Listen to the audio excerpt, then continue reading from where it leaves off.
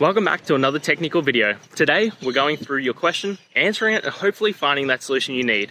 Guys, remember to stay just a little bit crazy, just like me, and hopefully get to that resolution. Now, let's get on to the video.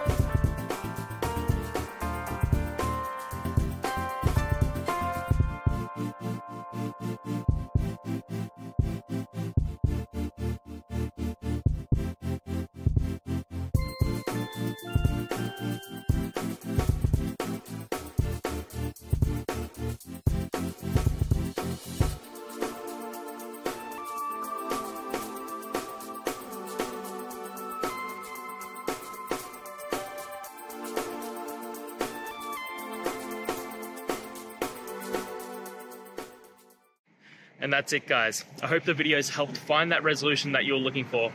And if it did, please hit subscribe. I'd really appreciate it. Now, until the next time you need a technical video, I hope you have a good one. Cheers.